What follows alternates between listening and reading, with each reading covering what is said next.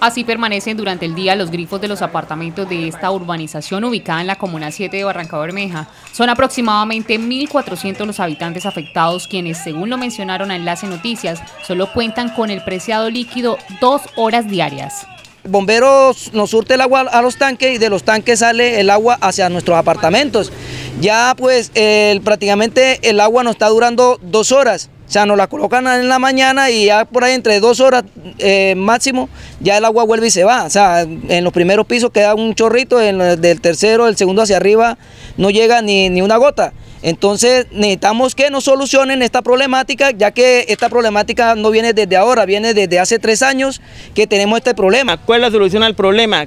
Que la alcaldía se responsabilice de la obra que realizó y entregó aquí en Terrazas y se arregle la entrada al tanque porque es que el acueducto dice que es el tanque de acá, pero es que el tanque de acá, cuando ellos vienen a medir la presión, cuando ellos vienen a medir, abren la válvula y llega toda la presión, y es indirecta,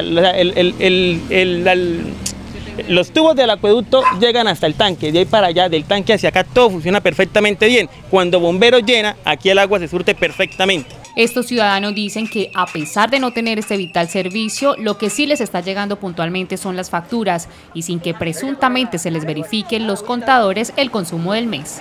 Aquí hay recibos de 75 mil pesos. De 96 mil, 24 mil. Hay recibos de, hasta 100 mil pesos. ¿Sí?